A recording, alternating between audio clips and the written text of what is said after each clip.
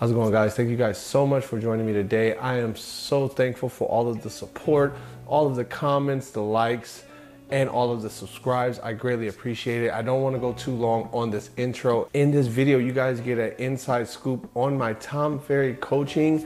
Now, I am revamping the way that I chose to do real estate. I'm going to be a salaried agent with Redfin. Me partnering with Redfin as a full-time lead agent and you guys get to see my coaching involved with Redfin. Now, this coaching is completely separate from Redfin. I was doing this coaching before Redfin, so you guys know, you guys can see on my channel that I've been doing the Tom Ferry thing, um, and I just pretty much just kept it with me. I pay 650 bucks a month for this um, coaching, so I take it very seriously, um, and I'm very thankful that my coach can no matter what I, I'm doing, no matter what route I'm going, my coach can give me the guidance and he can tell me exactly what I need to do to be successful. This video, my coach is going in depth on what exactly I need to do to start out successfully.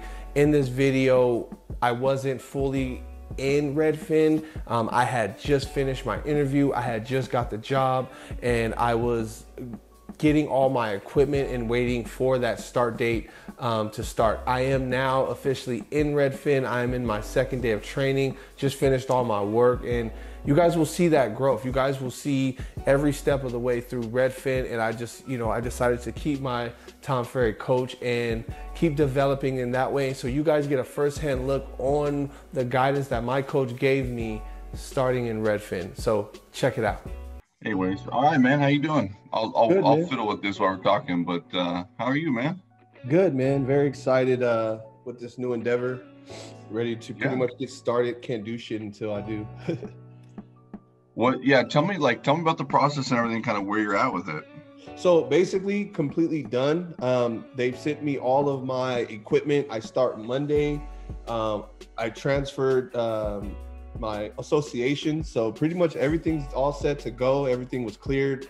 I think it was like yesterday. And so um, I start Monday and pretty much the first week from what I was told, they sent me kind of a schedule. I'll email that to you. Um, but uh, they uh, sent me a schedule. So the first week is uh, classroom setting. So I'll be doing virtual classroom with people all over the state. And then uh, the next week is when I, I start doing infield training. But it did see it did say in my schedule that I did some I did do some infield stuff in my first week. So um, I have to talk to my coach on more specifics on that. I mean, not my coach, but my manager. Okay. And where are you based out of? I'm in Oakland. Oh, you are. Yeah. Okay. And that's I mean that's pretty pretty uh close for you, right? Yeah, it's about an hour to 45 minutes, but it's not a big deal. It's my hometown. I have family there. But is that where you have to like mostly show um properties in Oakland? Yeah, basically. So I'm a buyer's agent in Oakland, so I only cover the Oakland area. Okay. Mm-hmm. Cool. Um, and you don't feel like that's gonna be a problem, like you know, getting there quick or anything like that? No, so what my plan is, obviously, the first week um, I'll be I'll be home, but I, my my plan is to just base at my grandma's house every morning. So, um, you know, um, work that way. So no, it won't be a problem. Okay, that's good. I mean, as long as you're feeling good with it. Yeah. And do they have do they have an office? Yes, they have an office. It's just everything is virtual right now because of this shit, uh, COVID. Um well, I'm excited for you, man. I, here's the thing: it's gonna be a hustle. Like it's gonna be like they're gonna work you, bro. Like they got buyers come out their ass, so you're gonna be. That's what I want. You know what I mean? Yeah, and that's that's what I want. You know, I was thinking about that last night. Like the deals that I was getting through Zillow, and I'm like, well, shit. Like I was getting deals through that engine. Now just imagine what I'm going to get through through this engine, and it's like I'm I'm ready to work, dude. Like, yeah, this has been killing me. But the split is pretty low, right? Yeah, so basically how it works is um so I get a base salary of 24,000. I mean that's shit, what 1,000 uh, thousand bucks every 2 weeks. Um so yeah. that's a base that's a base salary for not doing shit. Um yeah. so they're they're they they don't they pay, they reimburse you. Let me say that. They reimburse you for your MLS, so that's cool. Um, they pay for all my gas. They pay for every so they pay for every showing. So I get up to like 40 bucks per showing. Okay. And then um and then like you said, uh they work my ass. So I'm gonna be working seven days a week. You know, right now it's just the consistency of money is what I need. So Yeah. it works for me. Um, Yeah. Um, but and then my closes are pretty much bonuses, not commissions. So I get like bonuses for my closes. So you don't write the offers. Yes, I, I still do the real estate drop. I still get the transaction. I write the offers. Um, obviously my commissions are just smaller. Yeah. Well, what what is that split? So from what she, how she explained it to me, it ranges between three to five thousand. So she, uh, from what she had said, it was like one. She was saying if I got uh, a one point five sale, I would get a, a, a for sure max of five thousand. One point five. I don't know what that means. One point five million. Yeah. How many sales are you gonna sell at one point five million? I don't know. I don't. I have no. What's the average? What's the average sale in Oakland? Uh, the average is, I mean, it's not a million, but they have homes that hit that price, but it's not that average. No, Yeah. I would say Uh, average maybe five. Five, Five what? Like 500,000 maybe. I have to look it up. Uh, I just I- got. Yeah, I think it'd be more like seven fifty to eight fifty. Okay, that makes sense. But I'm guessing. And so at that so at that rate, you don't really know what it would be. So uh, like she just said, it, my bonuses ranges between three to 5,000 on closing. I, I get that, but I guess what I'm asking is she didn't give you that exact calculation of what it is. No, she did not. Hmm, you should get that, and here's why. We want to back that number into whatever your whatever revenue number you want to make. Okay, so you got to know because essentially now you have three revenue streams coming in. You've got your salary, you've got your per door dollar, and you've got your split, your commission, right? So now you got three revenue streams coming in. And we want to look at all three of those and do some projections on if you want to make a hundred grand, how many deals do we have to sell to make a hundred grand Gotcha. between the salary, between this, between that? Does that make sense? Yeah. Okay. So I would suggest that by our next call, try to get those numbers in more and they have a calculation. They don't just guess, right? Right. Yeah. I would, Okay. I would say so. Yes. Yeah. But what I'm hearing is you don't know. C- correct. Um, Okay. Yeah. These are important things. And I'm just trying to coach you up on some important things to ask in life forever.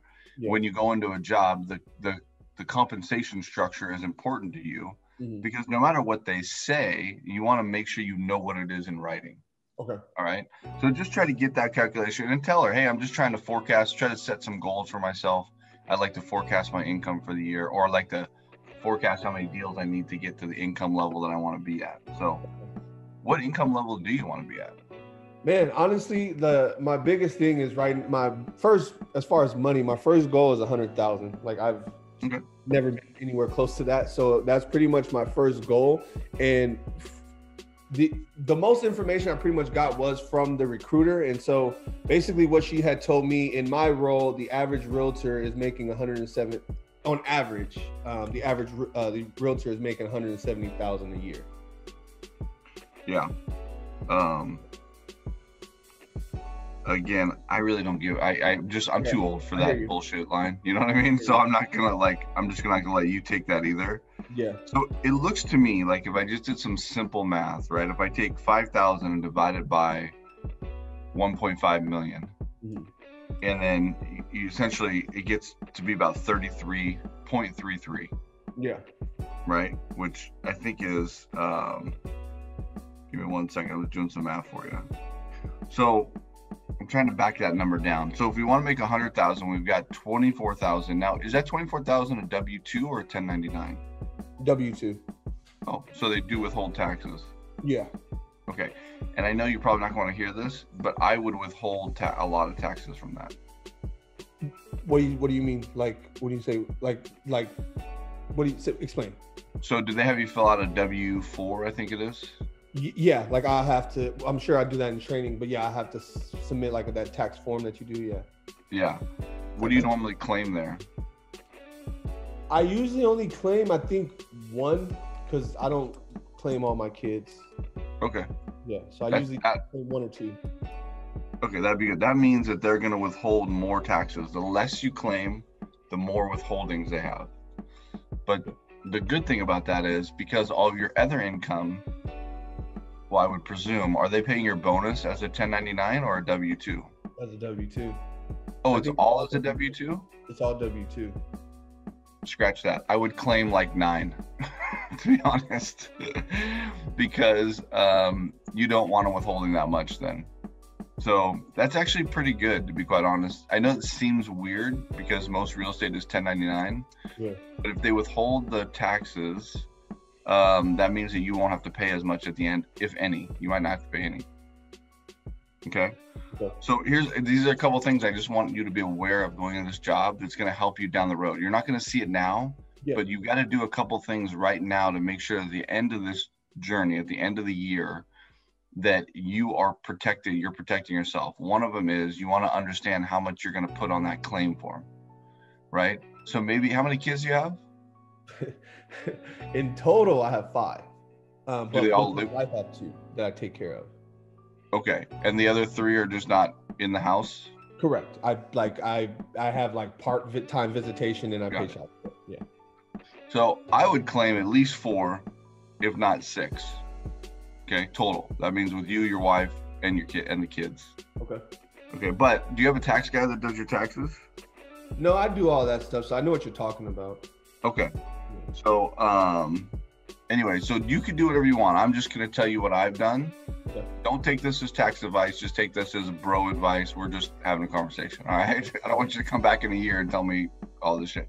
But if if they're withholding taxes, if you're gonna W two, you don't want them to withhold too much. You don't want them to hold too little. So that's where that form comes in. You kind of balance it out. All right. If you claim four to six, I think you'd be all right. Me personally, I always claim nine. Just just giving you where I'm at. Okay. And I only have two kids. I have three, but one of them's old. Gotcha. So the second part of this is reimbursement for expenses. How are you going to track your gas and mileage and everything? You know, I that's a great question because I figured like by receipts, um, but I I just I guess also I was, I guess I probably shouldn't assume, but I was assuming that they would train me on how they would want me to give that back. I'm going to guess they don't. They're going to they're going to tell you here's what corporations do that pisses me off all the time. Um does that look weird to you? yeah, your camera's tripping up. Okay, so remember this though. Most corporations, when you have to submit your whatever, right? When you've got to submit your it's so funny, I can see myself now, but I it's not showing me. Um, when you have to submit your expenses, they'll tell you the process they want you to submit them, but they don't really hound you about it. And the reason why is if you don't submit them, they don't pay. They don't pay, right? Hell yeah. Right. So it's super important in the beginning, like right now, you need to figure out your method of tracking your miles. And for you, it's going to be a lot because Yep. um, you're driving so much. Yeah. So it's technically from when you leave your house to when you get to the appointment and back. Yeah. Okay. So I would, I would, if I was you, I would look at maybe some apps on your phone. There's some apps where you can just download them, and then when you go on an appointment, you just you got to remember to do it though Yeah. you flip open that app and every time you're going on an appointment you just you just click like appointment or something and it starts tracking the miles What's do you know? Would you have an app? I, I know what you're talking about. I just can't think of like the. i can't you know what i don't even know the name of them either but if you just type in mileage tracker Exactly. There you go. That's the proper word. like mileage tracker app it'll come up yeah, I'm sure. Perfect. here's a bunch of them so um i think Hurdlr is the one that i've heard of the most i think but let me look at it real quick No, take your time. It's all good. I um heard h-u-r-d-l-r LR. Cool. right? And so it does all the mileage tracking, but you have to use the app. So it's going to be super, super important that you, you know, figure that process out. All right. Yep. Cool. So these are, and, and again, I, I've been in your position. I've been in these type of jobs like multiple times, Okay. and I didn't, you know, I was never really advised this, or to be quite honest, I was advised of this stuff, and I just didn't listen. And when it came down to the end of the year to do my taxes, it really screwed me over on money. okay. Okay. So it's not like you can't just fly blind and be like, cool, I'm just getting paid. You've got to be very, very um, structured in getting those expenses recorded and getting those expenses submitted. It's going to be a lot of money. Okay. Because think Uh-huh. about it, bro. The government, the federal government, the allowance is 52 cents per mile. So it's important that you track this stuff and you really understand, you know, what's going on with it. Because if you don't, you're going to get screwed out of a lot of money. Okay. Okay. Okay. All right. Um, what else? What else do you need to get that job or to be successful with that job? Um, you know, I've been doing a lot of like just brushing up on the buyer stuff on um Tom Ferry, but I think man, just starting out is building that trust. I think uh one of the things they they had mentioned is that like I guess the agents that they have don't really know Oakland that well, and I do. So I think uh just really getting out there um is, is just what I want to do. Like, I hate that I even have to go through a training process. Like I've, I've done the work. Let me just get out there. But um, yeah, it's I think for me it's just getting out there as much as I can, getting my face and being as recognizable. Um, that, that that's pretty much my goal. Like not thinking about the money too much. I'm just you know fo- trying to focus on the job. Like that's what I that's what I wasn't able to do here in Stockton. You know these prices are just uh, going so crazy, and you know it was getting away from the clients that I was working with. So now I can I can take away all that shit I was doing for free and now just focus on the job. So that's kind of how I'm looking at it going into. Cool. No, I love that. I love the mindset right there, bro. That's exactly what you need.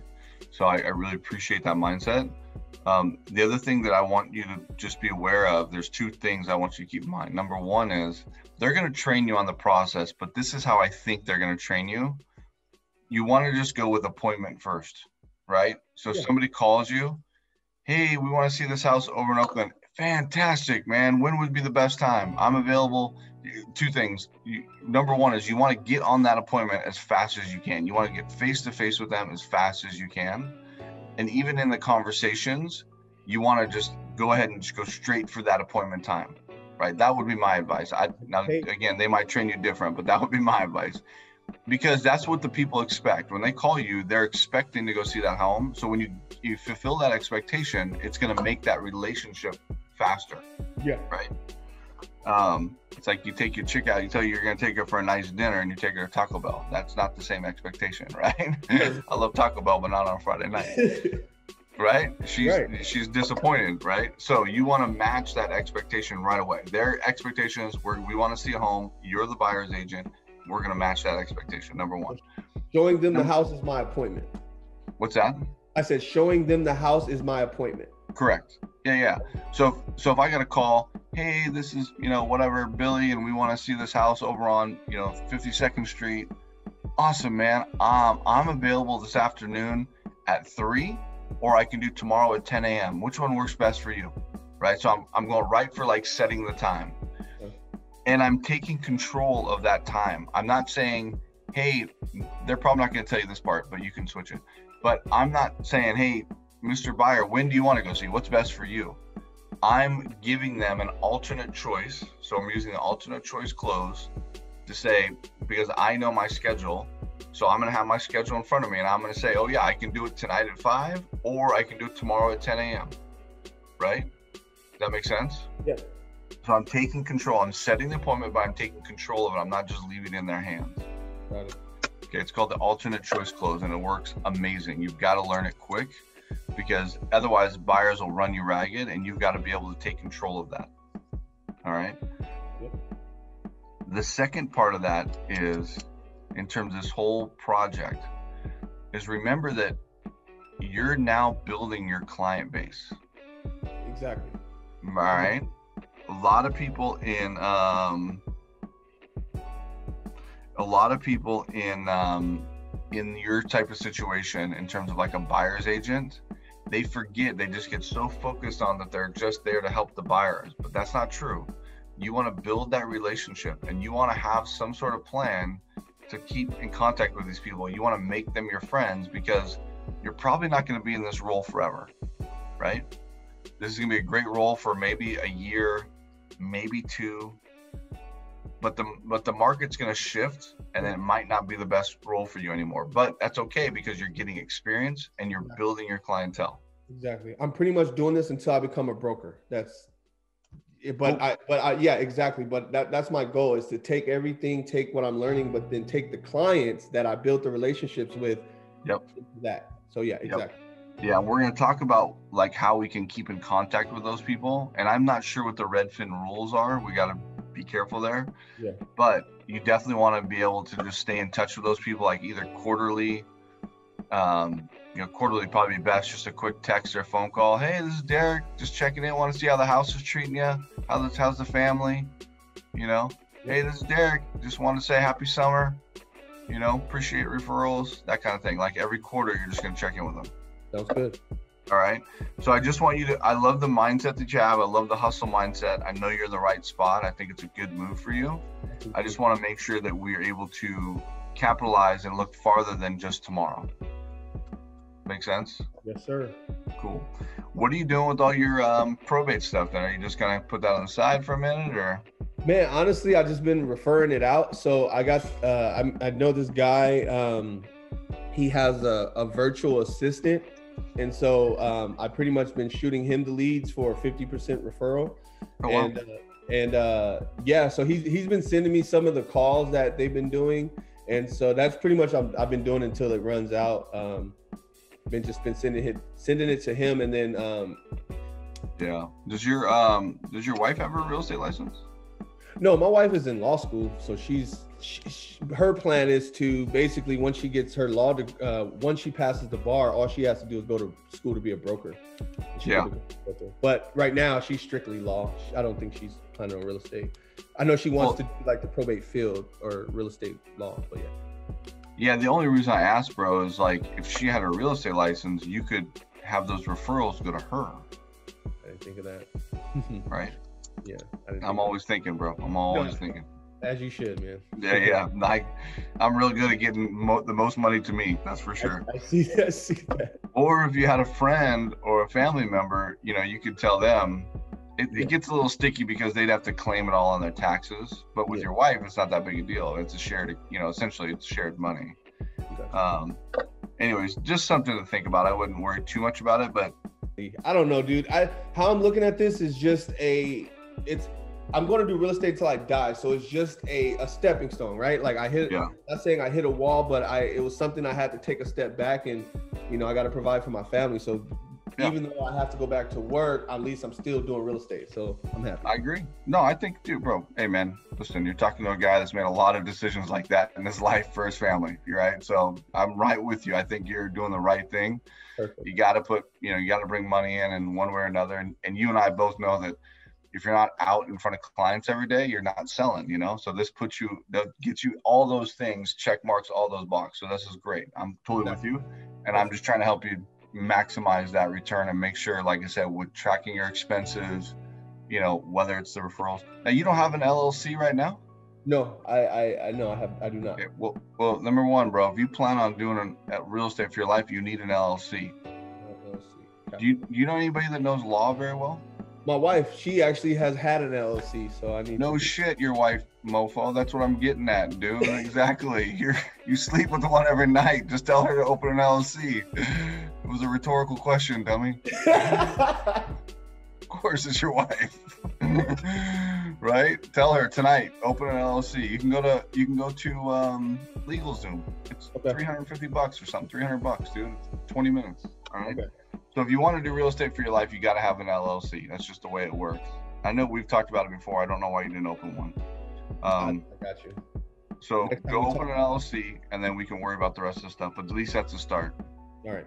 Okay. They can't pay you a W two on an LLC, but um. Anyways, all right. Anything else, bro?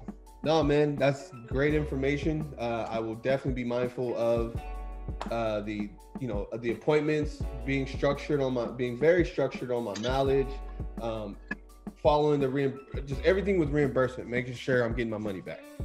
Yeah so, it's gonna be big. Like you're gonna have like $2000 reimbursement checks some months. That's yeah. a lot of money dude. No yeah. I already got my mls that they're going to be giving me back so. Yeah. Like yeah all that all that shit like receipts become very very important right now so make sure that you're keeping every receipt you're either you know taking a photo of it. There's some apps too where you can do like a receipt. It's like a receipt um, organizer. So you just take a picture with your phone and it goes into a file, so it's all right there. The other thing you might want to do, what I do, is I have a business account through Chase, and every expense in my business I just put through that account. So then when I go back and I look, I don't have to separate all the stuff from my personal. So I know that everything that I do with that account, I can just print out a, a thing from the end of the month and I can see all my expenses right there. And I know 100% of those expenses are business related. I have a credit card that I usually I try and use solely for like gas and like things like that. Like, would, would you recommend I use like I could use a credit card to? Sure. to Yeah, yeah. Just don't commingle, right? So if you if you dedicate that card to business, just Right. don't, you know. And and remember, well, you're a W two, so I don't think you can write off meals anymore. I don't know. Yeah. You might be able to write off single meal, individual meals. Like if you're out showing and you have to stop and get food, Yeah, you can write that meal off. gotcha.